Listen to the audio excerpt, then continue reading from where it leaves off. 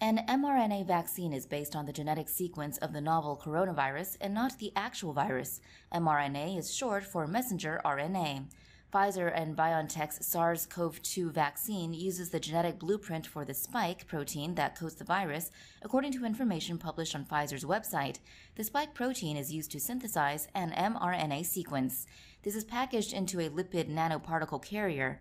Lipid nanoparticles protect the mRNA from degradation inside the body and facilitate its delivery to the targeted cells.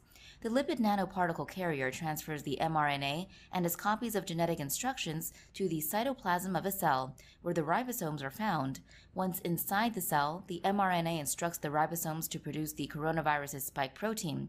By itself, the spike protein is harmless.